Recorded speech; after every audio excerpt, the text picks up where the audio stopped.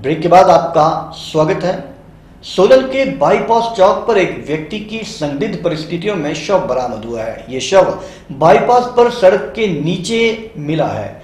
जब सड़क से लोग वहाँ से गुजर रहे थे तो उनकी नज़र इस शव पर पड़ी, जिसके बाद उन्होंने पुलिस को सूचित किया और पुलिस ने मौके पर पहुंचकर शव को कब्जे में लेकर उसके पोस्टमार्टम के लिए सोनल के क्षेत्रीय अस्पताल भेज दिया है।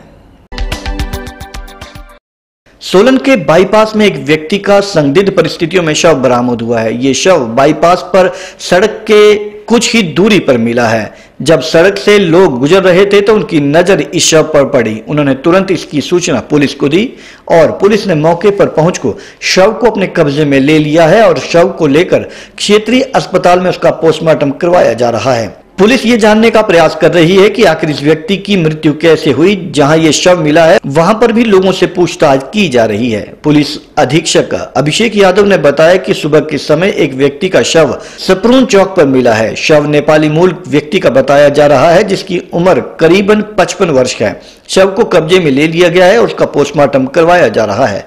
उन्होंने बताया कि अभी तक शव की शिनाख्त नहीं हो पाई है।